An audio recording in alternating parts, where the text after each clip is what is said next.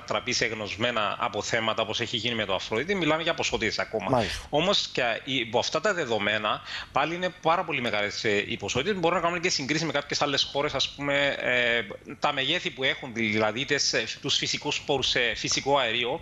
Η Κύπρος αυτή τη στιγμή από τις εκτιμήσεις, δηλαδή έξι ανακαλύψεις που έχουμε βρει συμπεριλαμβανομένη και της τελευταίας της ανακοίνωσης χθες για το ΖΕΦ 1, μιλάμε για περίπου 23 εκατομμύρια κυβικά πόδια. Μάλιστα. Δηλαδή αυτό μεταφράζεται περίπου σε 566 ε, δισεκατομμύρια κυβικά μέτρα.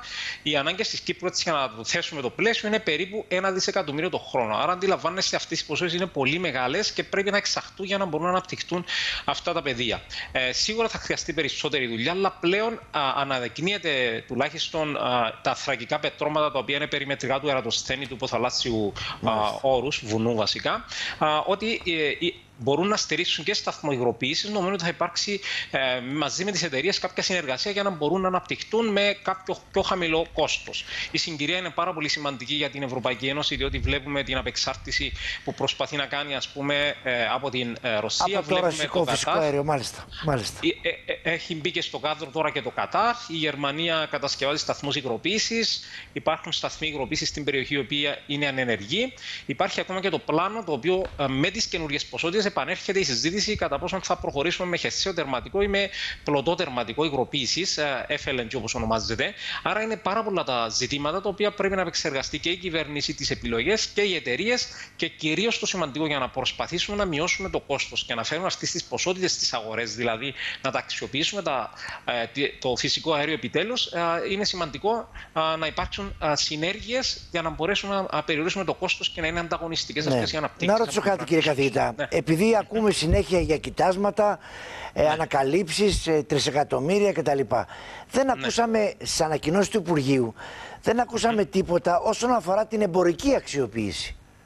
Κοιτάξτε, είναι καλής ποιότητας το φυσικό αέριο. Μιλούμε για βιογενές φυσικό αέριο, το οποίο είναι σχεδόν καθαρό, είναι μεθάνιο, να το πούμε έτσι απλά. Ε, έχουν καλά χαρακτηριστικά. Εντάξει, υπάρχουν α, οι απόψεις που έχουν να κάνουν τουλάχιστον οι πέντε από τις έξι ανακαλύψεις είναι σε αθραγικά πετρώματα. Το ίδιο είναι και το ζόρ, το οποίο είναι σε αθραγικά πετρώματα. Ε, τα συνήθως τα χαρακτηριστικά αυτών των δομών, α, των γεωλογικών δομών, είναι ότι μπορούν να παραχτούν α, σχετικά εύκολα, δηλαδή υπάρχει μεγάλο ποσοστό ανάληψης περίπου στο 90%. Έτσι, άρα είναι, είναι κάτι σημαντικό αυτό. Το μεγάλο βάθος νερού είναι αυτό που μας ανησυχεί, δηλαδή η ανακάλυψη που έχει γίνει χθες, μιλάμε για βάθος 2.400 μέτρων, αλλά και το Ζόρεν σε αντίστοιχο βάθος, το ίδιο και το Ταμάρ και το Λεβιάθαν και Αφροδίτη. Ναι. Έτσι, ε, λόγω της απόστασης όμως, αυτό που πρέπει να γίνει ε, ακόμα για να εξαχθούν προς την Αίγυπτο ή και στην Κύπρο, πρέπει να έχει κάποια πλατφόρμα στη θάλασσα για να μπορέσουμε να διοχετεύσουμε αυτό το φυσικό αέριο στη στεριά, δεν θα υγροποιηθεί εν μπλό, δηλαδή στη θάλασσα. Αυτό έχει γίνει και με την ε, ε τώρα πρόσφατα, ας πούμε, στην, ε, στην, στην ΑΟΣ του Ισραήλ, ας πούμε, με την Energean. Η τεχνολογία υπάρχει. Το μεγάλο στίχημα, κύριε Δημητρόπουλο, είναι το κόστος και οι συνέργειες μεταξύ των εταιριών και η χρονική συγκυρία. Δηλαδή, πρέπει να επισκεφτούν αυτές οι αξιοποιήσεις, δηλαδή η ανάπτυξη των πεδίων, για να μπορέσουμε να προλάβουμε το τρένο πριν το χάσουμε, διότι ε, όπως βλέπετε, οι εξελίξεις στον τομέα της ενέργειας τρέχουν με Έτσι. γοργό ρυθμό, το ίδιο και με οι ανανεώσιμε πηγέ ενέργεια. Πρακτικά, κύριε ναι. καθηγητά, πρακτικά έχουμε το ναι. δεδομένο ότι έχουμε αυτές τις ποσότητες. Πρακτικά, για να το φέρουμε πάνω, να μπούμε ναι. στις αγορές, αυτά πόσα χρόνια χρειαζόμαστε; Κοιτάξτε, το fast track το οποίο έχει γίνει ε, το πιο γρήγορο ήταν η ανάπτυξη, η ανάπτυξη του Ζόρτ, η οποία έχει γίνει κάτω από δύο χρόνια. Έτσι.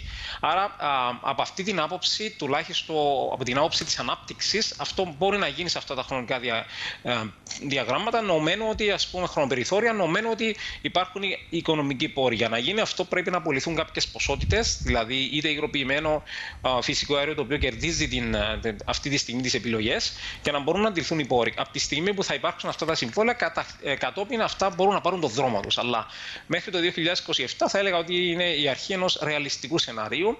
Ναι. Ε, ένα παράθυρο το οποίο θα ε, σπροχθεί ακόμα περισσότερο σε βάθος χρόνου. Αυτό εγκυμονεί άλλους κινδύνους, διότι θα μας έχουν προλάβει η ανάπτυξης η παραγωγή από το Κατάρ, από οι Ηνωμένες Πολιτείες κτλ. Ναι. Άρα η συγκυρία είναι ιστορική, είναι σημαντική.